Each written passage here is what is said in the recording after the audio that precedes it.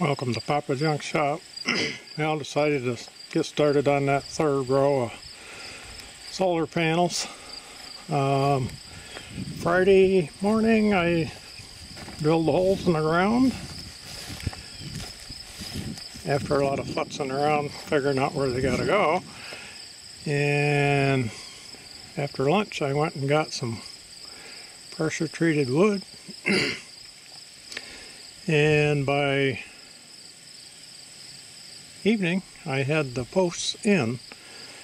They weren't level or square and all that stuff, but they were in.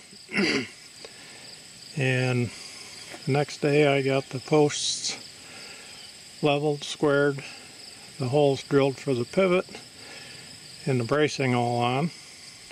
And the next day I built the frameworks. And today I made the uh, all the brackets and stuff for the uh, tilting part, the angle iron parts.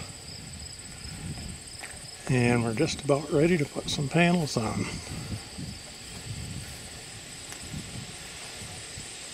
Thought maybe some of you might like to see it. And I don't know, my arms aren't long enough, but it tilts know, it balances. So.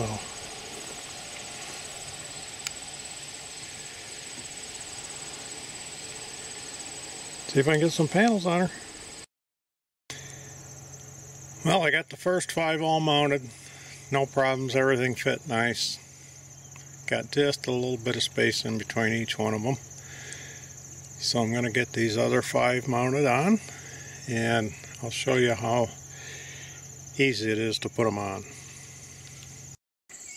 Okay, I got the first panel up here. I'm lean it up against the rack and I'm going to put these brackets on. You got a hole here which is going to go on the, the original hole in the uh, solar panel and this is the hole that's going to mount it to the wood. So I'm just going to take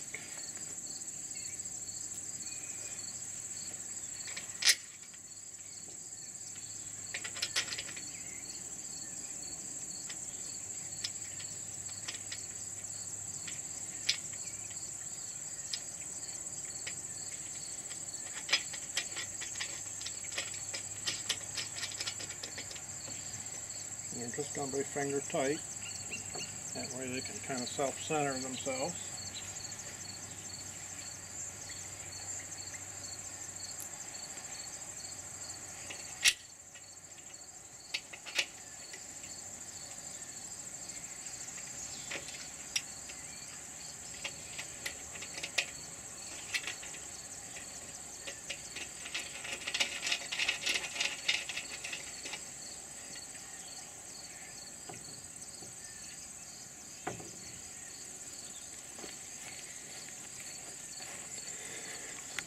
Okay, so that one's ready for the the uh.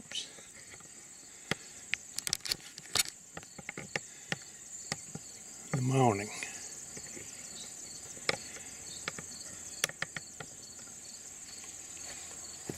So I'm going to take it over there on that end and put it on there and get it squared up.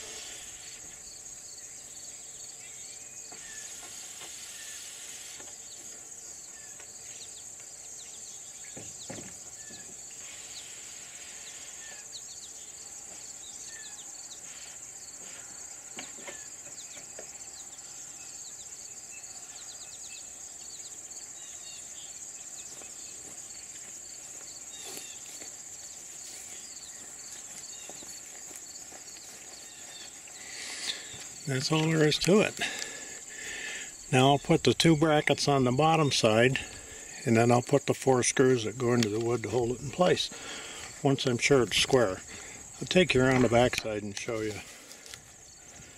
because previously there was some questions on how I did this. So that should make it pretty easy to understand. These are the original holes in the panels. So I'll get this one secured and then it's just a matter of putting the other four on. Same, same process. And then once I get them all on there, I can tighten everything up. Yep, got them all mounted. I got uh, two spots where I had an issue. Very easily remedied. When I put these brackets on, this one right here happens to be right where the other screw is that goes in here to hold it together. So I just got to drill a hole down here a little ways so I can put a screw in this. And the opposite corner is the same way. On the other side I didn't run into any of those so just happened to be, you know how it is. Okay, I've got all the braces off. It's balanced there. It moves so easily. I'll show you. I'm going to put it in the same position as the other one.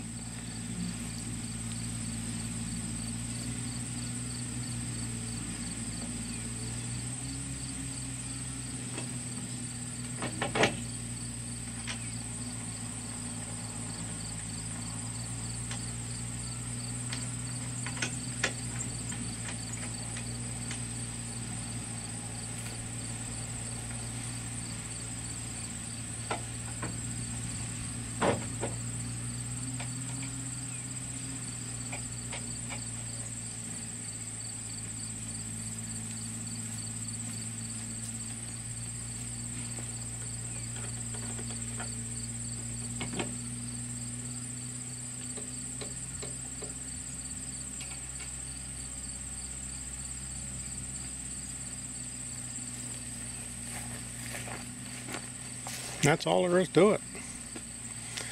I've got five different positions for between winter and summer. That one is about the middle right now for this time of year, which is uh, beginning of September. So I got a lot of wiring and then I got to get uh, combiner box mounted and get the cables run up here to it. So that'll be the next thing.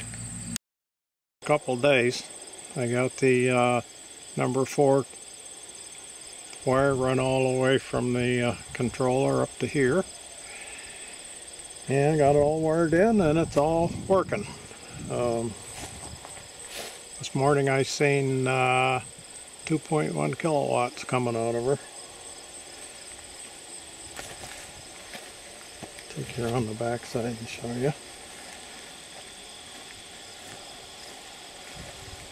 It's not the neatest job in the world, but we might put a few more uh, ties or, or something on there to secure the wiring, but probably be okay. Got my grounds all in. This uh, this is a different uh, combiner box and ones I've used before because on these panels my controller is only good for 100 and, oh yeah 100 volts. And the open circuit on these is 44 volts 44.8 this morning it was uh, running at 80 volts. So I can only put uh, two in series. So I had, there's 10 panels here, so I have five sets. This box was big enough that had extra space in it. So I was able to put another fuse on for the plus and minus on each side. So I got five, five fuses. And uh, this This box, the reviews were kind of mixed on it, but I thought I'm going to give it a shot. Um, the circuit breaker was over here, where the surge protector is. And they've got the wires coming in over here. And the other one was way over here. So, and I'm using number four, so it's kind of stiff. So I would have had to come in here and make a turn and come all the way over here, and this one would have been similar. So I traded places with these. That put the one original one comes right in and goes right in. And then I just put a new hole here. So it comes up and there's just a slight slight bend in it. And then I run into one other issue. The one of these uh, input MC4s was stretched so tight over to this fuse that wouldn't make connection. Um, couldn't really see why, but I just drilled a new hole and put a new MC connector over here. Everything's fine now. So, other than that, the the parts inside seem to be quality. It's just the kind of the design and and the, the box. I'm not sure.